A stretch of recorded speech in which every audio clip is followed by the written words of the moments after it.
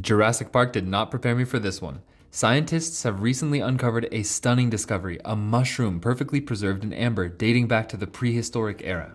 This amber is not just a fossilized relic, it might actually contain viable spores. Now, what's so special about that? Think of them as time traveling seeds. If these spores are still alive, we could be looking at reviving ancient strains of mushrooms that used to roam the earth before man. And it's not just about bringing back a mushroom.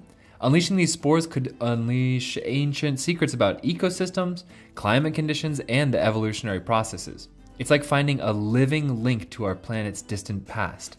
Imagine the possibilities, the new compounds from medicines, the insight into ancient biodiversity, and a better understanding of how life on Earth has evolved. The discovery isn't just a peek into history, it could be a game changer. However, there is a catch when, under, when cracking open this amber.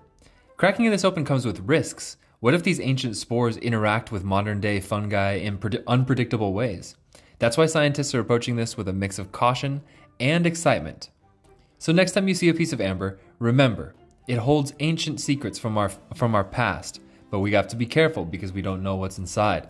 That's why we love amber and it holds the best fossils in all of history. So follow for more if you like this and we will continue to explore the unhidden secrets of nature.